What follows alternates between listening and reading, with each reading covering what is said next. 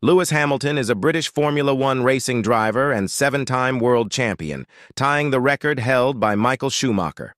Hamilton has broken numerous records in the sport, including most pole positions and race wins.